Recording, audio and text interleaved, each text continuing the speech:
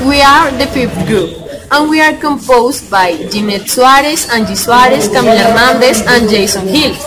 Our project is called Wheel of Fortune.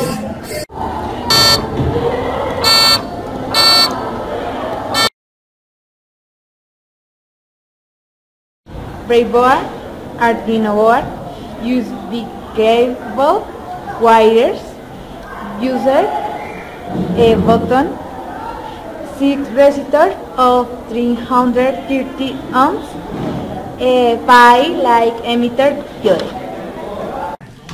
The circuit is programming a sequence of LED lighting. Being the central diode green, it is the most important. When the user pushes the button and the central diode is on, the buzzer whistles and increases the speed of LED lighting.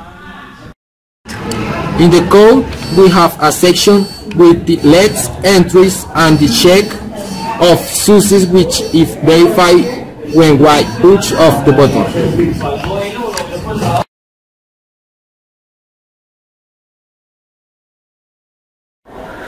By a simple code and Arduino board, we can do different games as our Wheel of Fortune. So we also can do complex artifacts and robots, alarm, uh, vehicle, sensor, and variety of things.